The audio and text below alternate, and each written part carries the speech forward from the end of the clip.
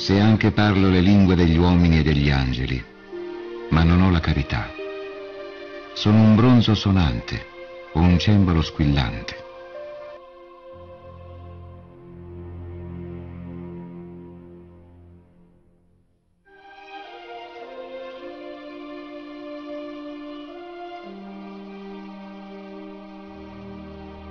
E se anche ho il dono della profezia e conosco tutti i misteri e tutta la scienza, e se anche possiedo tutta la fede, sì da trasportare le montagne, ma non ho la carità, non sono niente.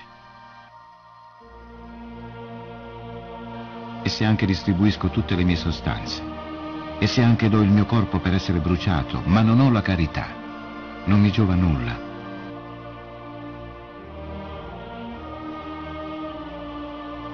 La carità è magnanima, è benigna la carità, non è invidiosa.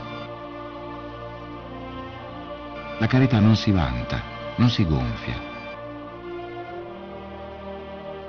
Non manca di rispetto, non cerca il suo interesse, non si adira.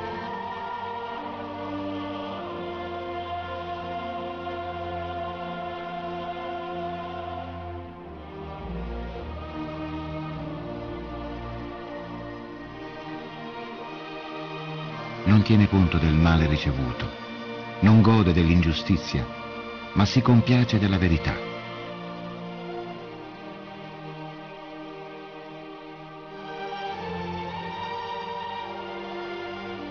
Tutto scusa, tutto crede, tutto spera, tutto sopporta.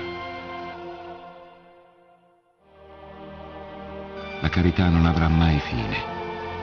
Le profezie scompariranno, il dono delle lingue cesserà, la scienza svanirà.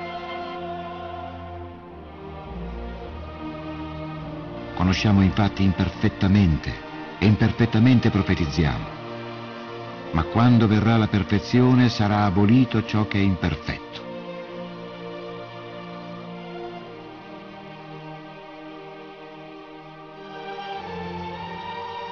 Quando ero bambino, parlavo da bambino, pensavo da bambino, ragionavo da bambino. Ma quando mi sono fatto adulto, ho smesso ciò che era da bambino.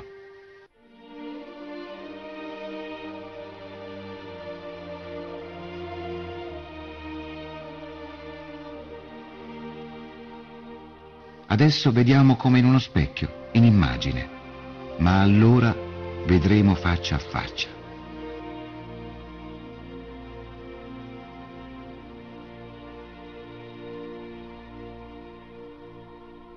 Ora esistono queste tre cose, la fede, la speranza e la carità. Ma la più grande di esse è la carità.